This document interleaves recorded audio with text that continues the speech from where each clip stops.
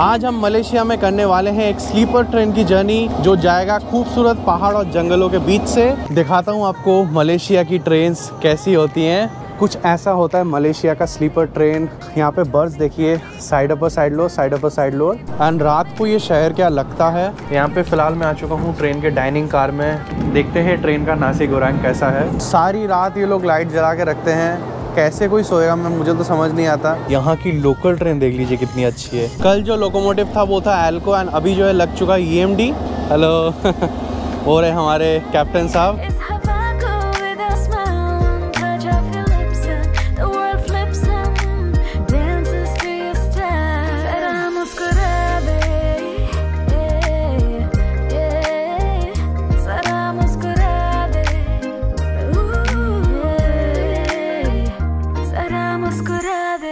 देवियों सज्जनों, नमस्कार। स्वागत है आपका मेरे चैनल पे फिर से एक बार। चौंतीस माले की मंजिल के ऊपर से स्वागत करता हूँ आपका मलेशिया सीरीज़ के एपिसोड नंबर छः में। आज के इस वीडियो में हम देखेंगे मलेशियन रेलवेज की स्लीपर क्लास ट्रेन्स कैसी होती हैं। सो जो लंबा पॉसिबल रूट है लॉन्गेस्ट रूट ऑफ़ मलेशिया, वही मैंने लिया। फ़िलहाल मैं हूँ जेबी में, जौहर बारू एंड ये आ जाता है मलेशिया के एकदम साउथ में। ये जो है मलेशिया का बॉर्डर है। उस पार जो बिल्डिंग्स देख रही है, जो नदी है, उस पार जो बिल्डिंग्स देख रहे हैं, वो है सब सिंगापुर की। So this is the Malaysia Singapore border यहाँ पे जो है आप बहुत सारी गाड़ियाँ ट्रक्स बसें ये सब देख ही पा रहे हैं, जो कि अभी आई है सिंगापुर से। काफ़ी जो है जा रही है toward Singapore. So I have a splendid view of Singapore here बहुत ही अमेजिंग प्रॉपर्टीज़ हैं। सो आज हम जेबी से जा रहे हैं मलेशिया के एकदम नॉर्थ ईस्ट में। नॉर्थ में कह लीजिए। हम जा रहे हैं तुम्पात नाम के जगह पे। सीनिक ट्रेन जर्नी होगी क्योंकि हम जाएँगे जंगलों के बीचों से। एंड ऑल्सो लास्ट डे जो मैंने दिखाया था वो था इलेक्ट्रिक ट्रेन आज जो मैं दिखाऊँगा that is a diesel train तो यहाँ पे मैं हूँ जेबी सेंट्रल स्टेशन के ऊपर ही। सो so, ट्रेन अपनी ना अभी है रात साढ़े आठ बजे। एंड अभी जो टाइम हो रहा है दैट इज़ थ्री फोर्टी बहुत टाइम अभी निकालना है। बट दिक्कत पता है क्या भाई? दिक्कत ये हुई कि मुझे जो स्लीपर वाली ट्रेन है उसमें कोई बर्थ नहीं मिला। उसमें एक्चुअली बर्थ सिस्टम भी है उसमें एक्चुअली फ़र्स्ट क्लास भी उसमें एक्चुअली एसी चेयर कार भी है. सो so, आज मैं फ़र्स्ट क्लास से ट्रैवल कर रहा हूँ मगर ये जो है ये सीट वाली फ़र्स्ट क्लास है ये बर्थ वाली नहीं है. मतलब इवन मैंने 10-11 दिन पहले बुकिंग किया था फिर भी मुझे सीट नहीं मिला. यहाँ पे train get usually sold one और 1.5 मंथ्स बिफोर एंड इस रूट की ये एक लौती ट्रेन है तो ऑब्वियसली ये तो होना ही था. यहाँ पे आ गया जेबी सेंट्रल स्टेशन में. यहाँ पे सामने जो है आपको चेक इन करना होता है गेट्स के अंदर. और मैं देख लेता हूँ अपना ट्रेन कौन सा है. तुमपात के लिए ट्रेन नंबर टू सिक्स आठ बज के पच्चीस मिनट पे। फ्रॉम प्लेटफॉर्म नंबर वन यहाँ पे देख लीजिए सिंगापुर की बैक टू बैक ट्रेन हैं सवा आठ बजे, साढ़े नौ बजे, पौने ग्यारह बजे। उनके लिए जो इतनी लंबी लाइन है सो यहाँ पे फाइनली बोर्डिंग शुरू हो गया एंड स्कैन कर लिया मैंने अपना टिकट सो यहाँ पे प्लेटफॉर्म नंबर टू पे लगी है हमारी इंटरसिटी एक्सप्रेस मेरा जो कोच है that is T one and ये है टी थ्री यानी ये है एसी चेयर कार ये है टी टू मेरा जो है ना एकदम लास्ट कोच है। यहाँ पे डोर जो है ऐसे इलेक्ट्रॉनिक है। एंड कोच के जो इंटीरियर्स है, वो कुछ ऐसे हैं इसी चेयर कार में, जिसमें आपको टू बाई टू का सीटिंग मिलता है। जो उस ट्रेन में आया ना मैं ई वो कुछ ज़्यादा अच्छा था। ये तो थोड़ा सा पुराना लग रहा है। एंड ये मेरा कोच है टी वन ये है यहाँ का first class train my seat is 11 A ample of leg space लेकिन कोई अम्यूनिटी शायद नहीं है टीवी वगैरह, क्योंकि उस वाले ट्रेन में मैंने टीवी देखा था। वैसे ये है ट्रेन का डाइनिंग कार जो कि मैं आपको थोड़ी देर में दिखाता हूँ। एक बार देख लेते हैं यहाँ का स्लीपर ट्रेन कैसा होता है। कुछ ऐसा होता है मलेशिया का स्लीपर ट्रेन यहाँ पे बर्थ देखिए side upper side lower side upper side lower unfortunately मुझे मिले नहीं, वरना बहुत मज़ा आता। साइड अपर पे भी छोटा सा विंडो है एंड साइड लोअर पे ऑब्वियसली इससे बेटर स्लीपर ट्रेन क्या ही होगा? क्या खतरनाक डिज़ाइन है? मतलब वैसा वाला सिस्टम भी नहीं है। एंड सबको अपना कैप्सूल टाइप मिल जाता है। कुशंस भी ठीक ठाक हैं बेडिंग दे रखा है। एंड बाकी this is the coach diesel train है तो ये है इसका जनरेटर कार एंड ये है इसका engine road number two four one two six के टी एम लिखा हुआ है यानी मलेशियन रेलवेज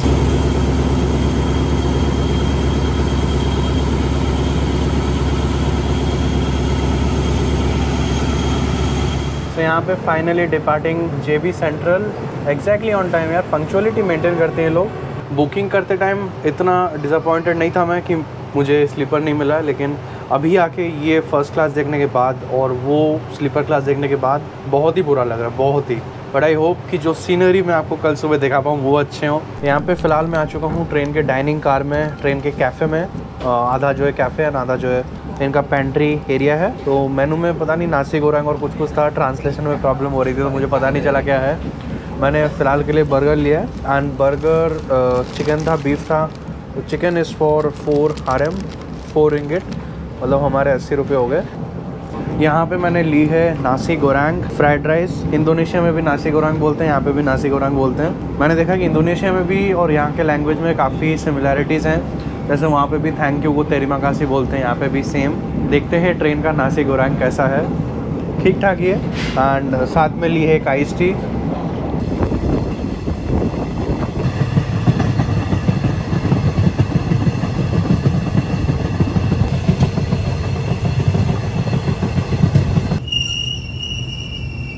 रात के बज रहे हैं, सवा दस, हम पहुँच गए हैं क्लुआंग नाम के सिटी में एंड यहाँ पे प्लेटफॉर्म कुछ ऐसा है, अंधेरा है थोड़ा। बाकी वी आर बिफोर टाइम यहाँ पे आने का समय रात के दस अड़तीस पे था।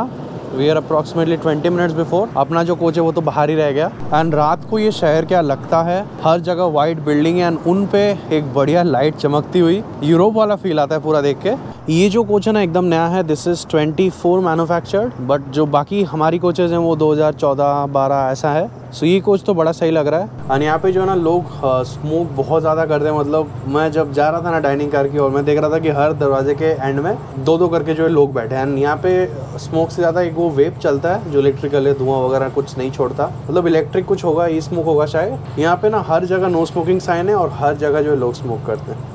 क्या बताऊँ? यहाँ पे जो है ना बर्थ वाले तो आराम से सो जाएँगे। चेयर कार वालों का पता नहीं, सत्रह घंटे ऐसे बैठ के जाएँगे मतलब समझ ही नहीं पा रहा मैं। एंड अभी अंधेरा हो गया है सो अभी दिखाने को कुछ है नहीं। मेन जो दिखाने को रहेगा ट्रेन जर्नी वो मैं कल सुबह ही दिखाऊँगा। फ़िलहाल के लिए गुड नाइट मुस्कुरा दे, महका दे, इस हवा को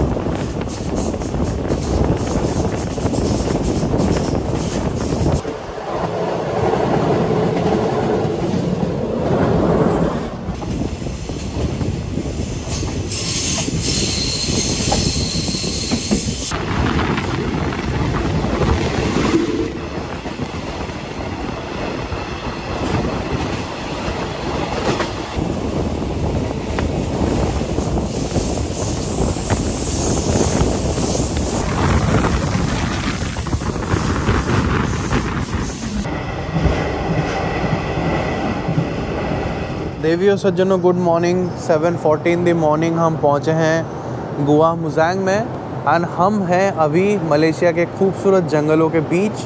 यहाँ पे ना बीच में ऐसे ऐसे पहाड़ हैं, अजीब से मतलब साइज़ में कम है, लेकिन हाइट में जो है बड़े हैं। सो ऐसा कुछ स्टेशन है यहाँ पे। नज़ारे बहुत ही अच्छे हैं यार, सुबह ये तो बोलना पड़ेगा। हमारे जैसे स्टेट्स हैं, यहाँ पे भी डिविजन्स ऐसे कुछ हैं। सो हम सबसे पहले थे जोहर डिवीज़न में, उसके बाद नगेरी सेम्बिलान फिर थे पहांग में एंड अभी जो है, हम है केलाटान में। कंफर्ट की बात करें देखिए सीट कंफर्ट तो है मगर सोने के लिए नहीं, सारी रात ये लोग लाइट जला के रखते हैं। कैसे कोई सोएगा, मैं, मुझे तो समझ नहीं आता। फिर एसी भी इतना ठंडा चलता है, ना तो इनके पास ब्लैंकेट चादर कुछ रहता है। लोग अपना अपना घर से लाते हैं, मेरे पास तो कुछ था नहीं आज। सो रात थोड़ी सी बेकार सी ही गई एक्सपीरियंस इतना अच्छा नहीं था। बट फिर भी सुबह के जो व्यूज़ हैं I think those are worth it and यहाँ पे ट्रेन ऑलमोस्ट हर स्टेशन पे बिफोर टाइम आ रही है सो हर जगह चार पाँच चार पाँच चार पाँच, दस मिनट एक्स्ट्रा रुक रही है। यहाँ पे देख लो स्टेशन जो है कुछ ऐसा है। एंड इनके वाले स्टेशनों में वो गेट नहीं रहते स्कैन करने वाले। ये जो है ओपन है हमारे जैसे ही, लोग छोड़ने भी आते हैं। बट जो जो मेन स्टेशन है ना के सेंट्रल हो गया बटरवर्थ हो गया जे बी सेंट्रल हो गया, उनमें मेट्रो जैसा सिस्टम है कि जिनके पास टिकट है, वही प्लेटफॉर्म तक आएँगे। सो यहाँ पे टाइम है सेवन फोर्टी एट एंड यहाँ से जो अपन निकलेंगे अभी। एंड यहाँ पे सुबह अभी आ चुका हूँ डाइनिंग कार में कॉफ़ी पी रहा हूँ फ़िलहाल। कॉफ़ी काफ़ी बढ़िया है। यहाँ पे कॉफ़ी ना हर जगह बहुत बढ़िया मिल रही है। एंड साथ में ली है ये बिस्किट बाकी सामने के ना व्यूज़ कुछ ऐसे हैं।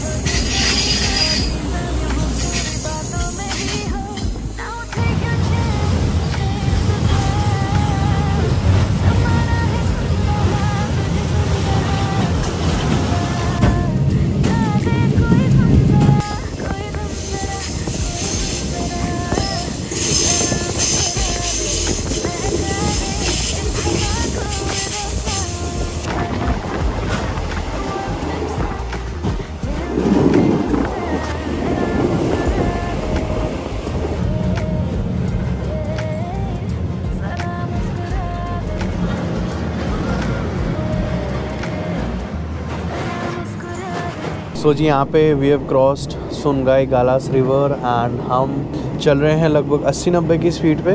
कभी कभार कम हो रहा है 60 70 50 जंगल के बीचों से रूट है ना तो इतना ज़्यादा स्पीड इस पे है नहीं।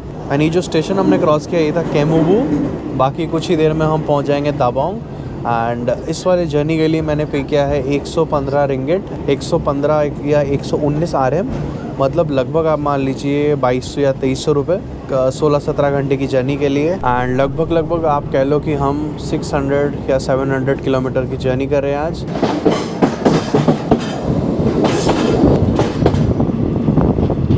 यहाँ पे हमारी दबंग एंट्री हुई दाबोंग स्टेशन में। एंड यहाँ पे स्टेशन मतलब कि एकदम सिटी से जो है लगा हुआ ही है। पहुँच गए हैं दाबोंग। दाबोंग स्टेशन में 9:38 पे निकलने का टाइम है सो लगभग 20 मिनट बिफोर टाइम आए, सवा नौ हो रहे हैं। यहाँ पे देखते हैं खाने पीने के क्या ऑप्शन या क्या है। सामने जो रेस्टोरेंट है सिटी का, ये देख लीजिए दिस इज़ दाबोंग सिटी आसपास नदी, पहाड़, खूबसूरत जगह है। जरा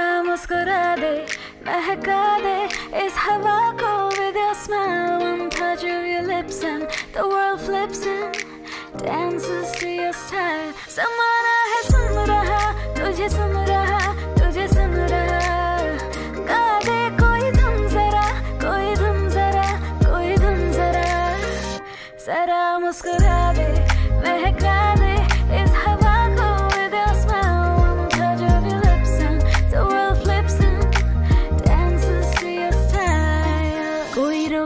रोके ना टोके ना ऐसी हंसी हो Don't hide it, don't fight it जब ऐसी खुशी हो All it takes is smile to change this world क्या इरादे बता दे होठों से सभी को Your dreams and your hopes तेरी बातों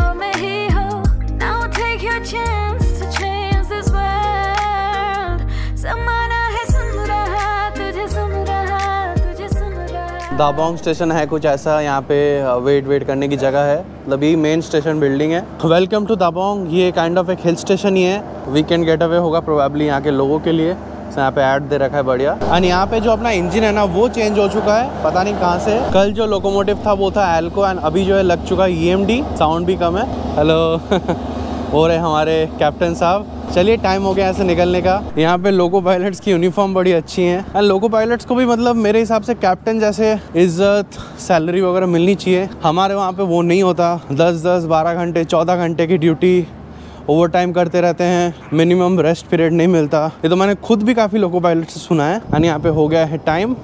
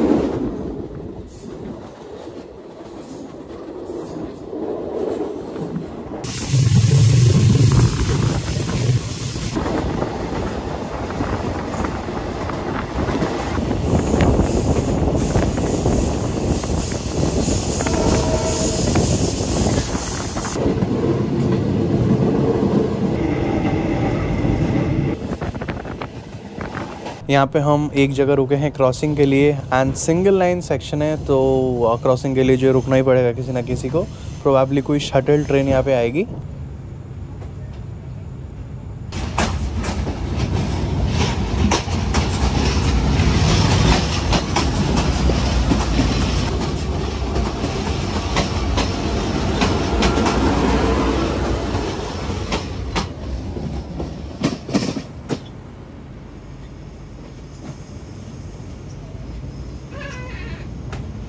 यहाँ की लोकल ट्रेन देख लीजिए कितनी अच्छी है। एंड हमने अभी क्रॉस किया बुकित आबू स्टेशन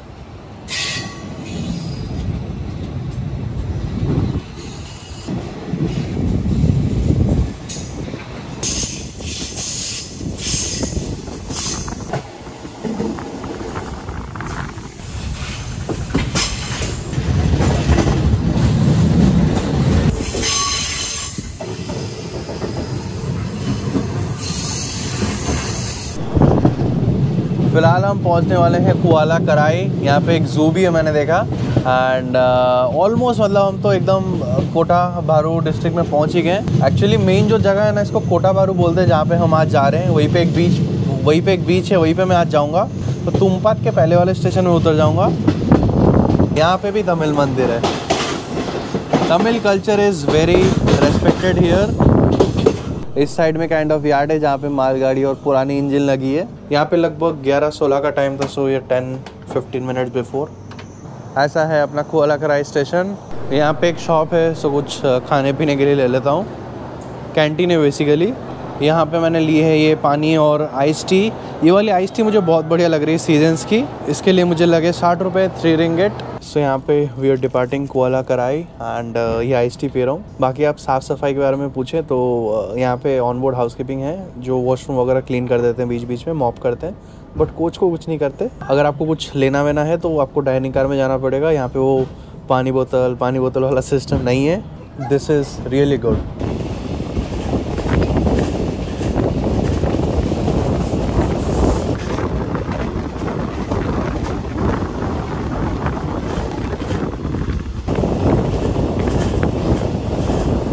बस हम पहुँचने वाले हैं वका बारू जो सिटी हम जा रहे हैं वो है कोटा बारू तुमपत जो है लास्ट स्टेशन है दूसरे साइड है वो तो वहाँ जाके फ़ायदा नहीं है। अ, बाकी सीट जो है ना सारी रोटेटेबल है। एंड वॉशरूम्स के बारे में मैं आपको बताना भूल गया। हर कोच में जो है दो वॉशरूम्स हैं। एक जो है स्क्वाट स्टाइल बोलते हैं मतलब हमारा जैसा इंडियन स्टाइल होता है बिल्कुल वैसे। ही बट वो थोड़ा हाइट में बना हुआ रहता है। एंड एक जो है, हमारा वेस्टर्न स्टाइल जो कमोड रहता है वैसा। बाकी साफ़ सफ़ाई जो है एवरेज थी उसकी। टिश्यू पेपर साबुन, ये सब कुछ है नहीं। ये सब एक्सपेक्ट मैं कर रहा था कि चलो, इतना इतना तो होगा फ़र्स्ट क्लास में या किसी भी क्लास में। क्योंकि soap is a very basic thing मुझे लग रहा है।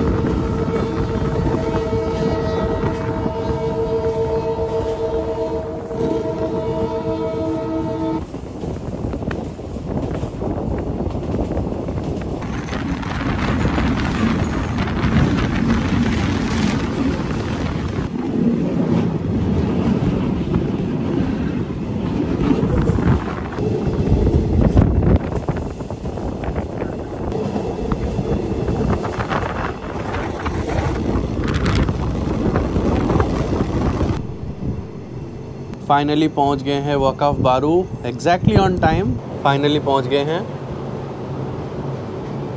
आउटसाइड टेम्परेचर इज़ 32 डिग्रीज गर्मी है काफ़ी यहाँ पे कंपेयर टू कुआलालमपुर या पेनांग इतने पेड़ होना नहीं चाहिए था बट जो भी है ट्रेन निकल जाए, उसके बाद ग्रैब लेते हैं. यहाँ पे पब्लिक ट्रांसपोर्टेशन वगैरह कुछ है नहीं. ग्रैब चल रहा है लकीली एंड ग्रैब ऐप आप डाउनलोड कर लेना याद से.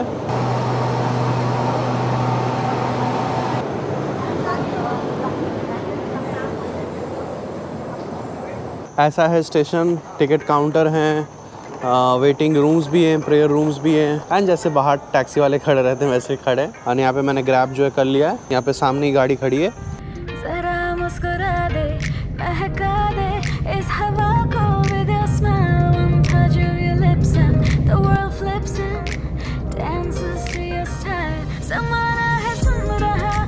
क्योंकि ये इतनी टूरिस्ट फ़ेमस जगह नहीं है, इसलिए यहाँ पे होटल्स उतने हैं नहीं। तो रिवर साइड मुझे एक होटल मिला था रूम मिला मुझे 110 आर एम में, यानी बाईस सौ रुपये रिवर व्यू रूम है एंड बाकी एक दो अच्छे होटल्स भी देखे थे, मगर उनमें पाँच पाँच हज़ार रूम रेंट है।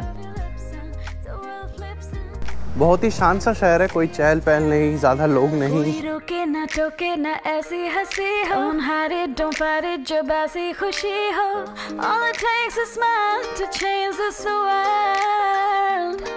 क्या इरादे बता दे होठो से सभी को। ड्रीम्स एंड योर होप्स तेरी बातों में ही हो।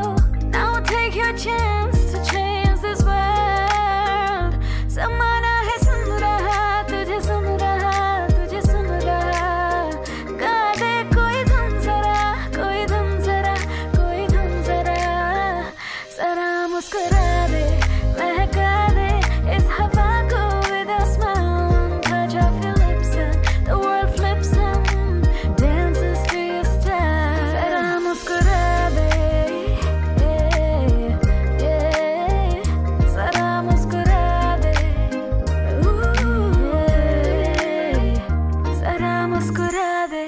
so बस दिव्यो सज्जनों, आज का व्लॉग यहीं पे समाप्त करते हैं। यहाँ पे अनफॉर्चुनेटली बीच तक नहीं जा पाया क्योंकि कल शाम को जैसे ही मैं निकला ना बारिश आ गई। एंड एडिशनली मैंने देखा कि वो नो ड्रोन जोन में आता है क्योंकि एयरपोर्ट उसी के नज़दीक है। तो कल यहाँ पे बढ़िया सनसेट देखा एंड दैट सेट देख लीजिए यहाँ पे सामने रिवर व्यू एंड फ़िलहाल मैं निकलता हूँ अपना नेक्स्ट बस के लिए। मिलते हैं अगले ब्लॉग में। तब तक अपने और अपने परिवार का ध्यान रखें, याद रखें। तूफ़ान आंधी है, बरसात, हर मंगल शुक्र आपके साथ।